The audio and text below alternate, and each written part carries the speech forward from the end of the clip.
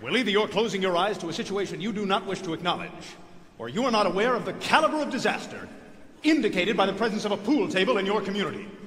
Well, you got trouble, my friends. Right here, I say trouble right here in River City. Why, sure, I'm a pool player. Certainly mighty proud to say I'm always mighty proud to say it. I consider that the hours I spend with a cue in my hand are golden. Help you cultivate horse sense and a cool head and a keen eye. Did you ever take and try to give an ironclad leave to yourself from a three-rail billiard shot? But just as I say, it takes judgment, brains, and maturity to score at a balk line game. I say that any boob can take and shove a ball in a pocket.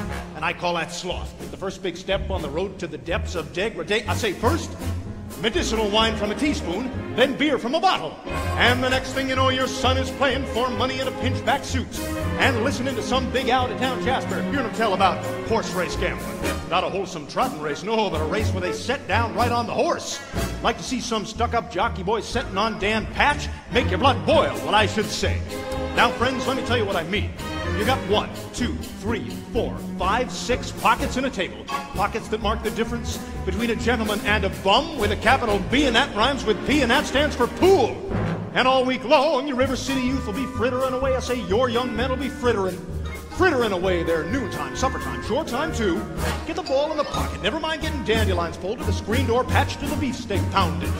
Never mind pumping any water till your parents are caught with a cistern empty on a Saturday night, and that's trouble. Oh, you got lots and lots of trouble. I'm thinking of the kids in the Knickerbocker, sure tail young ones, speaking in the pool hall window after school and got trouble, folks, right here in River City. Trouble with a capital T, and that rhymes with P, and that stands for pool. Now, I know all you folks are the right kind of parents. I'm going to be perfectly frank. Would you like to know what kind of conversation goes on while they're loafing around that hall? They'll be trying out Fido, trying out Cubets, trying out tailor-mades like cigarette fiends, and bragging all about how they're going to cover up a telltale breath with sense. And one fine night, they leave the pool hall, heading for the dance at the armory. Libertine men and scarlet women, and ragtime, shameless music that'll grab your son, your daughter, with the arms of a jungle animal instinct, mass stereo. The idle brain is the devil's playground. Trouble! Right here in River City. With a capital T and that rhymes with P and that stands for pool. We've surely got trouble. Right here in River City. Gotta figure out a way to keep the young ones moral after school. Mothers of River City, heed that warning before it's too late. Watch for the telltale signs of corruption. The minute your son leaves the house, does he rebuckle his knickerbockers below the knee? Is there a nicotine stain on his index finger? A dime novel hidden in the corn crib?